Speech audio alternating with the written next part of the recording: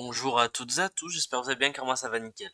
Aujourd'hui on se trouve pour la deuxième étape du Tour de France 2022 et c'est la première étape en ligne et la première étape de plaine avec notamment euh, le pont du Grand Belt et une grande zone de vent. Euh, on va peut-être tenter d'envoyer quand même quelqu'un à échapper. Pourquoi est-ce qu'on n'enverrait pas Nils Sekov pour le premier maillot à poids? Il est placé en tête du peloton donc je pense que ça serait pas mal. Faudrait juste qu'il arrive à sortir parce que là il est un peu gêné quand même. Voilà, comme ceci, ils vont en sortir à 4 certainement, sauf si euh, la Quickstep a décidé autrement, mais non, pour l'instant, ça a l'air de plutôt bien se passer. On va voir est-ce que ça va batailler pour prendre l'échappée? Et oui, j'ai l'impression que Alpecin n'est pas très contente. Bon, en tout cas, au niveau du sprint, Denese à plus 2, donc oui, ça va être notre sprinter de Gunkolb aussi à plus 2. Euh, est-ce que l'Egnesun ne protégerait pas Romain Bardet? Et euh, Kevin Vermel qui va sans doute protéger voilà Denezé comme ceci. On va placer tout le monde à l'avant du groupe. Allez hop comme ceci, voilà, on va placer tout le monde à l'avant. Comme ça on va éviter les chutes. En plus j'ai l'impression qu'il pleut un peu. Ah bon, on vient de se faire rattraper, on va recontrer directement avec Nilsekov. Cette fois-ci on va être un peu plus, j'ai l'impression à suivre. Ah non, Ouais, non, en fait, le problème, c'est qu'ils veulent pas qu'on soit 4. Et à chaque fois, on part à 4, donc ça pose problème. Sinon, on est avec Pierre-Luc Perrichon, Oziane. Ouais, non, ça veut vraiment pas. Ah, là, ça qu'on retente d'attaquer. Non, ça roule juste très très fort, j'ai l'impression, je sais pas. Est-ce qu'à 3, ça nous laisse partir? Oui, sauf qu'il y en a toujours un qui attaque. Il y a toujours un quatrième, donc ça ne veut pas. Ça, ça va être problématique. Et il y a Chris Froome qui tente de prendre l'échappée. Bon, là, le peloton, il veut vraiment laisser partir euh, que trois mecs. Hein. Si on est quatre, ça va pas. Est-ce que ça roule, là, le fait qu'il soit trois? Non, ça roule pas. Oh non, on va louper le coche, ça continue comme ça. Du coup, on va, on, va continuer de forcer avec Nilsekov. Le bon coup est peut-être en train de partir.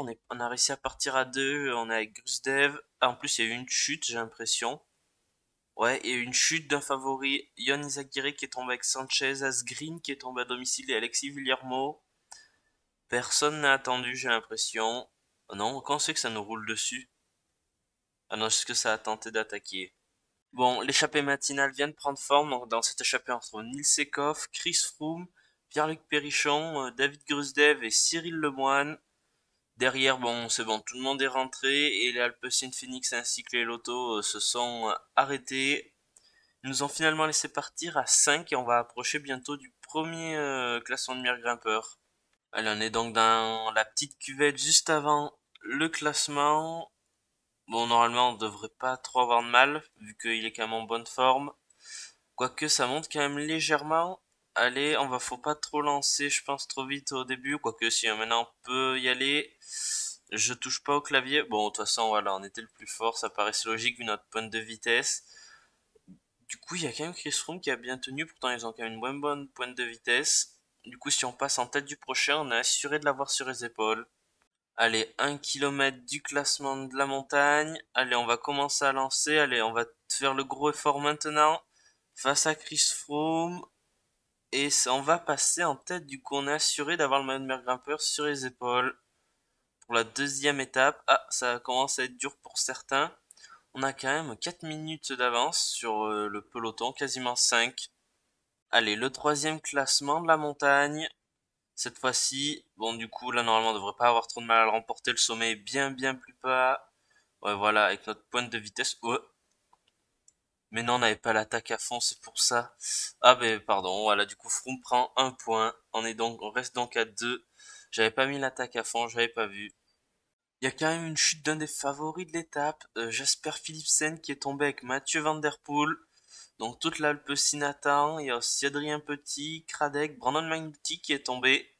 Il est combien en général? Ouais, il est voilà, dixième provisoirement. Et il y a Guinif qui est avec eux, j'ai l'impression qu'il est lâché. Euh, ouais, bon, normalement, il devrait pas avoir trop de mal à rentrer, mais avant le sprint intermédiaire, ce n'est peut-être pas une très bonne chose. Et donc, Jasper Philipsen ne sera pas là pour disputer le sprint intermédiaire. Ouais, si on va qu'un prendre, on va prendre la route Cyril Lemoine, voilà, devant, pour pas faire de bêtises. Bon, nous, avec Kevin Vermeek, on va commencer à lancer. Oh non, oh non, le Trek Segafredo qui nous a totalement bloqué. Allez, là, est-ce qu'il peut se replacer? Oh mais non, c'est pas possible. Et maintenant, c'est qui qui nous a bloqué? C'est Sagan Allez, il va lancer Dungelkolm, Dénézé dans la roue. Bon, du coup, par contre, mec, hop, tac, tu te décales. Allez, euh, Dénézé, tu vas lancer. Oh, par te fait pas distancer, s'il te plaît. Du coup, avec Dénézé, est-ce qu'on va réussir à passer dans les premiers? Oui Oulala, là là, on fait un très très bon sprint. On va finir quatrième du peloton, j'ai l'impression. J'ai derrière Christophe et Jacobsen ainsi que Caleb Ewan. Bon, en vrai, je trouve que c'est pas trop mal. Bon, par contre, on s'est fait juste légèrement bloquer. Hein. Du coup, combien on passe du peloton? Hop, on va vite le voir ici. Alberto Denese. Euh, Christophe Jacobsen, Van Aert, De Gelkol. Quoi, De Gelkol, mais devant Denese? Mais elle est où la ligne du sprint intermédiaire? Ok, euh, vraiment bizarre tout ça. Par contre, devant, Nilsekov, il a pété un câble, j'avais pas vu, vu que le sprint est passé. Ouais, j'ai pas trop compris comment c'était calculé, mais bon, ouais. Du coup, mes premiers sprints intermédiaires un peu foirés.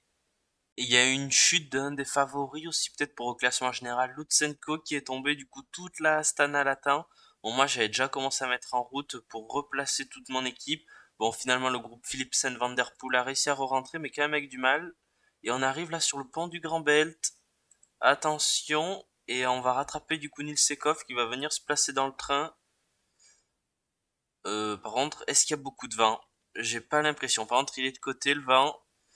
Allez, en tout cas, Nilsekov il va venir se placer ici. Allez, Tusvelt essaye de passer là, voilà, entre les échappées. Non, mais Froome, il a fait exprès. Voilà, comme ceci. Est-ce que tout le monde passe? Il y a juste Bardet là qui se fait un peu bloquer. J'ai l'impression ouais, que c'est bizarre sur le pont, les collisions. Ah, si c'est bon, on peut aller vraiment jusqu'au bord. Allez, en tout cas, Tusvelt, nous, on va se mettre sur la droite de la route. Bon, du coup, on ouvre totalement l'éventail. C'est un peu dommage, mais bon, c'est pas très très grave en soi. Allez, en tout cas, du coup, Nuttelsvelt, il fait en sorte qu'on reste placé. Oh, par contre, du coup, tout le monde va s'écarter sur nous. Ça, ça va être un petit problème quand même. Allez, là, Tusvelt, on va tenter quand même de refermer un peu l'éventail, puisque ça serait bête quand même de faire le travail pour tout le monde, là. Par contre, il n'y a pas non plus un rythme infernal, surtout il n'y a pas tant de vent que ça, même si regardez, ça commence à bordurer au loin. Et on a 15 km de l'arrivée, les premières cassures apparaissent, le maillot blanc a été distancé, Stephen Bicheger. J'ai l'impression que c'est bien lui, je crois. Oui, c'est ça, Bicheger a été distancé. Allez là, hop, Hamilton qui va commencer à y aller. Et hop, Tusvelt, c'est fini. Tu vas t'arrêter doucement. L'Hamilton, il continue. Et derrière, c'est la BNB qui tente de refaire la cassure. Parce qu'il y a Pierre Latour piégé aussi. Il y a Nils Polit. Il y a qui d'autre? Il y a Stepkus, Vingegaard qui est piégé aussi. Steven. Il y en a encore un groupe un peu plus nombreux qui est ici. Bon, c'est le groupe aussi avec Lutsenko. Vraiment, il y a eu un gros gros tempo là. Ça a accéléré d'un coup. En tout cas, Phoenix est toujours présente. Alors, on arrive dans les 8 derniers kilomètres. On va commencer quand même à accélérer pour mieux se placer. Allez là, hop. Ça va être au tour de Nils Sekov maintenant. Qui avait fait une très belle échappée qui sera maillot à poids de main de rouler. Alors Kevin Vermeek, Andreas Legnesun qui va emmener le sprint. Hop, tout le monde va prendre son gel dès maintenant. Allez là, Nils Sekov. C'est bon, on vient de sortir de la zone devant. Mais il faut quand même continuer à forcer, je pense. Par contre, euh, toi, juste, tu pouvais arrêter de faire n'importe quoi, voilà, comme ceci. Bon, Nilsekov, ouais, non, il va s'écarter sur le côté, voilà. Allez, Kevin Vermeek maintenant. Avec Andras Legnesun dans la roue. Il va lancer. Plutôt Legnesun va lancer, parce que, bon, Kevin Vermeek, voilà, il est trop rapide. Allez, Legnesun, de Gelkol maintenant qui lance. Oh, ben on a totalement perdu Denezé. Ok. Bon, ben voilà, le sprint qui est totalement raté à cause des blocs. À moins que de Gelkolm arrive à faire une place, ça va être un cinquième place ou pas? Victoire de Peter Sagan ici, qui va peut-être endosser le maillot vert. Victoire pour euh, le Slovaque. Bon, nous, Denese vient faire 11ème, il s'est totalement fait bloquer. De Gelkolm vient faire quand même une cinquième place. Ouais, euh, compliqué quand même. Hein. Attention, il va certainement y avoir des gars qui vont perdre du temps classement général, qui vont perdre le Tour de France. Ça va être notamment certainement le cas de, de Vingegaard, du coup, on a trouvé notre leader côté Jumbo. Euh, il y a Dornan Van Poppel qui vient de se relever. Il y a Molema aussi, j'ai vu. Il y a Kamna ici, Barguil. Il y a Froome qui était ce matin dans l'échappée. Bon, là, c'est qui? C'est Bajoli, Guinif qui arrive, Frédéric Frison. Derrière, c'est Edouard Plancart et Krieger qui ont fait un gros gros travail pour amener Philipsen, qui fait seulement 8 Et du coup, Peter Sagan, après sa victoire sur le Tour de Suisse, qui revient en forme et qui frappe d'un grand coup en remportant la première étape en ligne du Tour de France 2022. Énorme victoire étape pour euh, Total Energy. Je crois que c'est l'une de leurs seules victoires de leur histoire avec euh, Lilian Kalmojan, si je me trompe pas. Il s'impose devant Alexander Christophe et Fabio Kopsen. Ghana reste leader, bien sûr, devant Van Aert et Kung, du coup. Bicheger s'est fait expulser du euh, top 10. Classement de la montagne pour Nisekov devant Chris Froome et Stephen King. Peter Sagan du coup qui prend le maillot vert devant Alexander Christophe et euh, Wout Van Aert. Peter Sagan peut-être de retour pour aller chercher un neuvième maillot vert si je me trompe pas.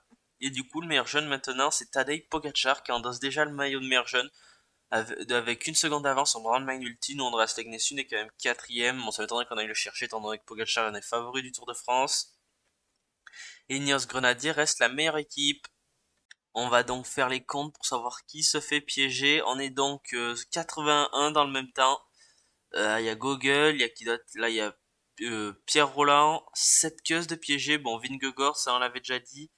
Pierre Latour, il y a qui d'autre en gros favori pour le classement général.